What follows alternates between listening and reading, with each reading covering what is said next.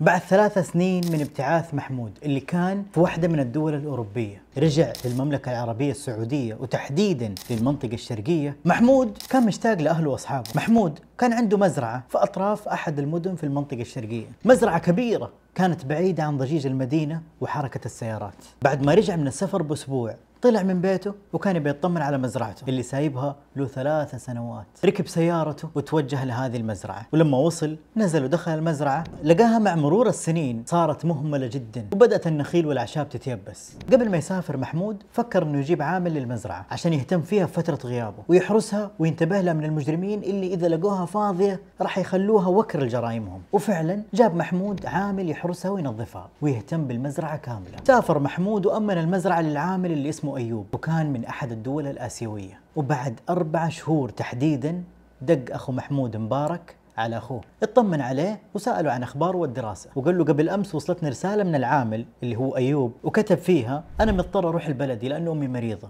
ومفتاح المزرعة والأغراض بعطيها الواحد يجيب لك إياها. يقول مبارك اتفقت مع العامل أيوب وأرسل لي واحد يعطيني المفتاح والأغراض اللي تخص المزرعة. المهم يا محمود صارت مزرعتك فاضية بدون أي حراسة أو أحد يهتم فيها. محمود قال لأخوه مبارك بالله تكفى مبارك أبحث لي عن أي عامل كذا يكون ثقة عشان ياخذ مكان أيوب. وافق مبارك وقال له أبشر على هالخشم. بس والله هالفترة مشغول. لكن بحاول أدور لك على عامل كذا يكون ممتاز وأكلمك. مرت الأيام والشهور ومبارك ما لقى العامل. أو بالأصح كان مشغول ونسي المزرعة تماما إلين ما رجع محمود من بعثته. والحين رجع وقرر يدور على عامل. بعد كم يوم جاب ثلاثة عمال للمزرعة. راح محمود والعمال للمزرعة وبدأ محمود يعلمهم عن المزرعة والأغراض اللي يحتاجونها. بدأوا العمال بتنظيف المزرعة وبدأوا بالزراعة. بعد مرور كم شهر وصل اتصال لصاحب المزرعة محمود. كان نايم وقام مفزوع من الاتصالات المتكررة اللي كانت من العمال. رد على الاتصال وكان العامل يتكلم مع محمود وهو خايف ويتلعثم. كان يقول له كنت أحفر أنا والعمال اللي معاه معايا وفجأة المعول اللي كنت أستخدمه صدم بشيء قاسي. حاولنا نحفر ونشوف وبعد ما حفرنا لقينا طرف جمجمة وما نعرف وش نسوي.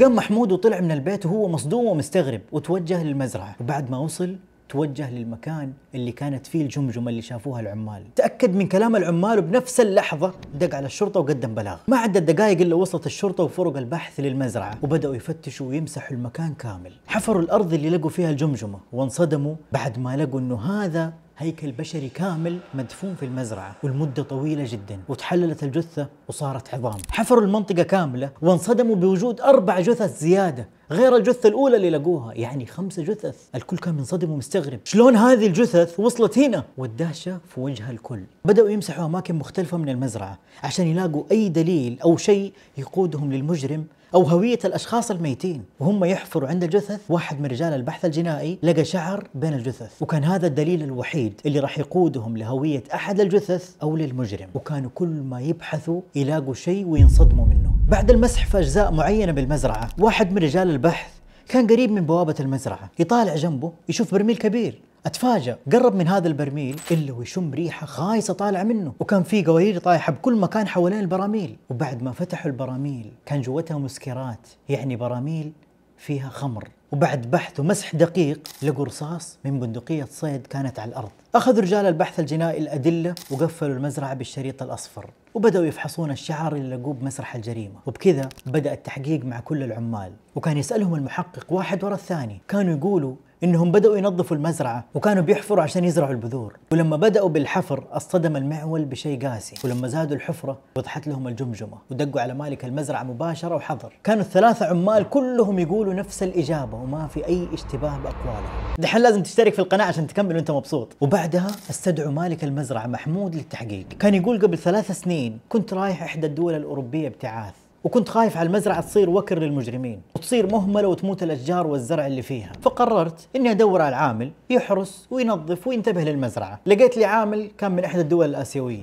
أمنته على المزرعة وأخذته وعلمته على كل شيء يخص المزرعة والزراعة. بعدها جاء وقت السفر وسافرت. بعد فترة دق علي أخوي مبارك ويقول لي إن العامل أرسل له رسالة بإنه مسافر لأنه أمه مرضت ولازم يروح لها. قال العامل لمبارك إنه بيرسل شخص ومعاه مفاتيح المزرعة وبعض الأغراض. وهذا اللي صار اتفقوا على الوقت. وجاء واحد سلم أخوي المفاتيح وللأسف مبارك ما راح للمزرعة وتأكد إذا كان فيها أي شيء ناقص أو شيء خربان. أو حتى جاب عامل يهتم بالمزرعة لأنه كان مشغول وما حد اهتم بالمزرعة لين رجعت أنا. وجبت العمال الثلاثة اللي الحين شغالين هنا. المحقق طلب من المسؤولين اللي معاه يسووا طلب استدعاء لأيوب من دولته. لكن للأسف بعد ما بحثوا ودوروا وأخذوا العلم من سفارة بلد أيوب لقوا إنه أصلا أيوب ما سافر برا المملكة ولا حتى خرج من المنطقة الشرقية. بدأت التساؤلات تدور براس المحققين وتواصلوا مع أهل أيوب اللي حتى هم كانوا خايفين على ولدهم لأنه له ثلاث سنين مختفي عنهم ولا يدروا عنه أي شيء. وبحثوا وسألوا لكن بدون أي نتيجة. وبعدها طلع المحقق من غرفة التحقيق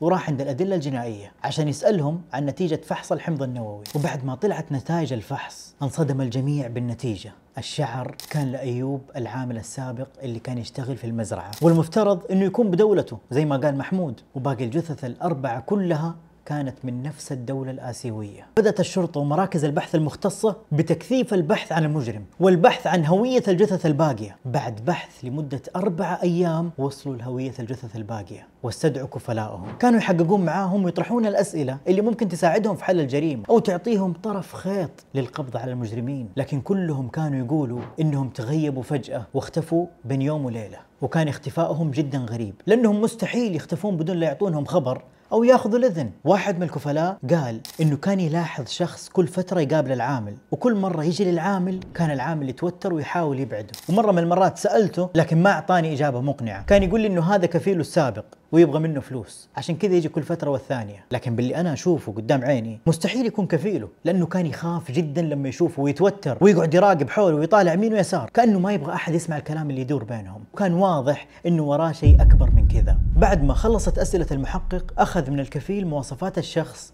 اللي كان يتردد للعامل. وبعد يومين قدرت الشرطة تحدد هويته بكاميرات المراقبة اللي عند مستودعات الكفيل وحددوا مكانه. بعد التحقيق والبحث عن معلوماته كان شاب عايش في الأحياء النائية في المنطقة الشرقية. توجهت الشرطة للموقع وأخذت الشاب للتحقيق. كان الشاب في حالة سكر ويهذي بالكلام. دخل عنده المحقق وبدأ يسأله لكن كلامه ما كان مفهوم. طلب المحقق استدعاء مبارك أخو محمود والكفيل اللي دلهم على هذا الشاب. جو الاثنين مبارك والكفيل ودخلوا مبارك للغرفة اللي كان فيها الشاب السكران وبدأوا يسألوا مبارك إذا كان هذا الشاب هو نفسه اللي أعطاه المفاتيح وأغراض المزرعة. قال مبارك أيوة هو بشحمه ولحمه. وكان معاه شخص ثاني. بعدها خرج مبارك ودخل بعده الكفيل الغرفة ورجعوا سألوه هل هذا هو نفس اللي كنت تشوفه يتردد للعامل اللي يشتغل معاك؟ وبرضه أعطاهم نفس الإجابة وقال لهم أيوة هو. خرج الكفيل وأخذوا المتهم للسجن الين يصحصح من حالة السكر اللي كان فيها. بعد ما صحصح المتهم ورجع لوعيه أخذوه لغرفة التحقيق وبدا المحقق يطرح عليه الأسئلة. عرض عليه صورة أيوب والثلاثة اللي كانوا معاه. انصدم المتهم وبان على وجهه الخوف. قاعد يتأمل الصورة وهو ساكت. المحقق رجع يسأله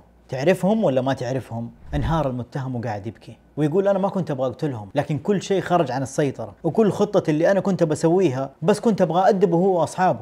قال له المحقق إيوه هيقول لي من البداية إيش اللي صار بكل التفاصيل. بدا المجرم يقول أنا كنت أروح للعامل ايوب في المزرعة اللي كان يشتغل فيها. كان ماسكها لوحده كان يصنع الخمور ويبيعها. كنت دائما أجي وأشتري منه. صرنا دائما نجلس في المزرعة جوة الخيمه ونشرب ونسهر. وكان معانا أصحابه الأربعة. وكنا نتحدى بعض ونلعب قمار. كل واحد فينا يحط مبلغ واللي يفوز ياخذه. كانوا دائما يفوزون علي وما يكتفون بالفوز. وكانوا يضحكون علي بكل مرة يفوزون فيها علي. ويقولون أنت ما تعرف تلعب أنت فاشل. أنا كنت أمشي اللي يسوونه ويقولونه. وأحاول أتجاهلهم. اتفقت مرة من المرات مع أيوب. قلت له إيش رأيك نسوي شراكة مع بعض؟ أنت تصنع الخمر وأنا ابيعه عند معارفي. والربح اللي يجينا نتقاسموا بيننا. حاولت أقنعه لمدة طويلة وبعدها اقتنع وصار يعطيني كمية بسيطة. وكنت أبيعها ولما ارجع له في المزرعة أعطيه أقل من نص الأرباح اللي جتني. كان دائما يصرخ علي ويقول لي أنت حرامي. وإني قاعد أنصب عليه وآخذ أكثر منه. قلت له ترى أنا اللي قاعد أوزع وأي شيء يصير بيطيح على رأسي أنا. أما أنت قاعد في المزرعة وما حد يعرف عنك شيء. نسبة الخطر عندي أكثر منك. ممكن انمسك وانسجن. هذه الأرباح اللي تيجي أنا أحق منك فيها. كان دائما يقول لي إنه يبغى ينهي الشراكة بيننا. وأنا كنت أرفض وأقول له والله لبلغ عليك. وأدق على كفيلك وأعلمه وأخليه يرحلك. كان يخاف ويسكت.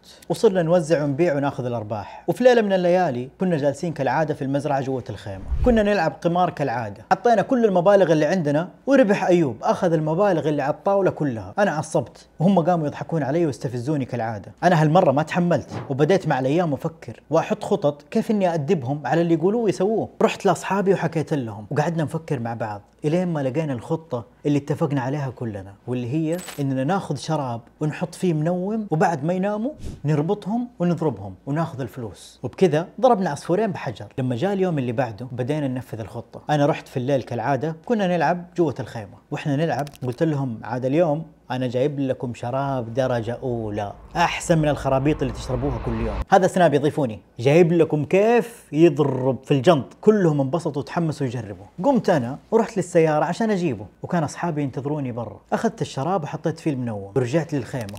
طفيت بعض اللمبات عشان ما يوضح آثار الدواء في المشروب. وقلت لهم عشان نعيش الأجواء الرومانسية. وهم صدقوني. بعدها بدأ مفعول المنوم. بدأوا يدوخوا واحد ورا الثاني. ناديت أصحابي الاثنين ودخلوا الخيمة. ربطتهم أنا وأصحابي. مسكناهم وكل واحد منهم حطينا له قطعة قماش في فمه عشان ما يصرخون بعدها بدينا نضربهم بالعصي والحديد. أيوب حاول يقاومني بس قدرنا أنا وصاحبي ندرك ونرجع نضربه. بعد ما وقفنا ضرب كنا بناخذ الفلوس ونهرب. لكن واحد من أصحابي قال شوفوا هالعامل ما عنده نبض. ولما رحنا تحسسنا نبضه للأسف طلع كلامه صحيح. واحد من العمال مات من قوة الضرب. حنا ارتبكنا وخفنا ما عرفنا وش نسوي. بعد تفكير ما أخذ مني وقت دقيقة واحدة بس. قلت لهم بس جت الفكرة. اللي مات والعايشين كلهم نحفر كذا حفرة كبيرة وندفنهم مع بعض. أصحابي رفضوا لأنه باقي العمال كانوا عايشين. شلون بندفنهم؟ حاولت أقنعهم لين ما اقتنعوا أخذنا كل الخمسة عمال ودفناهم في المزرعة. وأخذنا كل شيء يخصهم. الهويات والجوالات وكل شيء كان معاهم. بعدها طلعنا من المزرعة وما عاد رجعنا لها ابدا. بعد الاعترافات خرج المحقق من غرفة التحقيق وأصدر أمر بالقبض على الاثنين أصحاب المجرم. بعدها بساعات جابوهم للمركز وسمعوا أقوالهم اللي كانت تتطابق مع المجرم وأخذوهم كلهم للسجن إلى أن جاء موعد جلسة المحكمة. تم الحكم على المجرم بالقتل حدا لقتله المجني عليه غيلة وأصحابه حكموا عليهم بالقتل تعزير. تم تنفيذ الحكم يوم الاثنين الموافق 22 10 2018 في القطيف. هذه قصة حقيقية من كثير قصص حصلت بسبب ضياع العقول. احذروا وانتبهوا لنفسكم وأولادكم. ما بتستفيد شيء يوم نشوف خبرك منتشر على السوشيال ميديا وتكون وقتها فارقت الحياة. عشان كذا أبعدوا كل البعد عن رفقاء السوء ورافقتكم السلامة.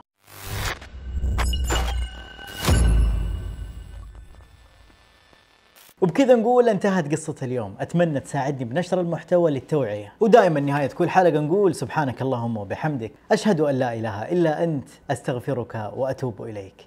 أشوفكم على خير.